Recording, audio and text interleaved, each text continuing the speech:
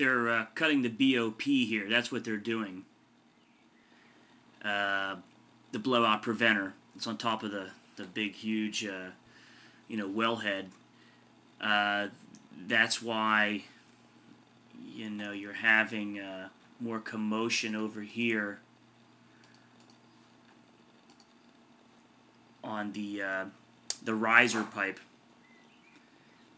because of the BOP activity.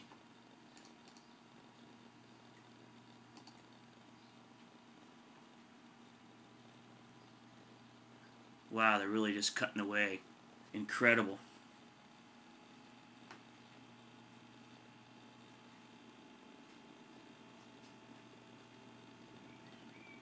Look at that. Look at that.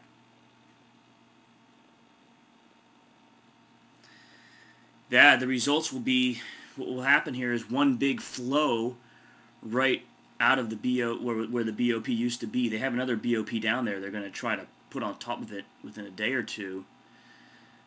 But it's going to be pretty nasty down there for a while. Better actually one one place to concentrate on.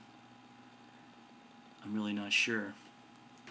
But we are going to see because they got those those saw blades, those diamond tip saw blades. Uh, you know, hard at work here.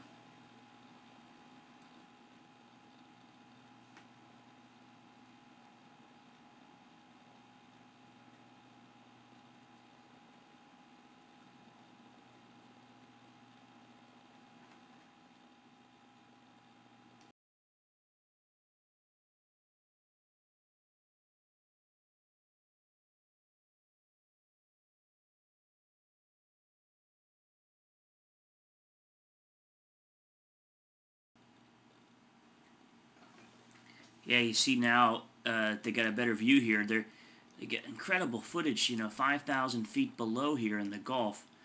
You know, however terrible. There it goes. Look at that. Whoa.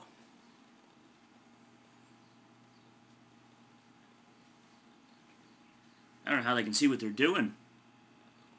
Jeez Louise.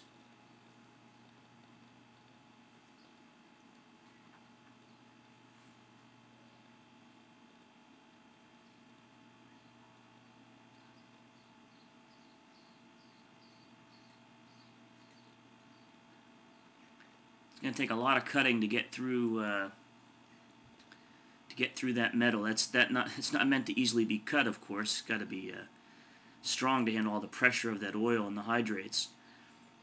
But um, they got those diamond tip saws just uh, hacking through it here.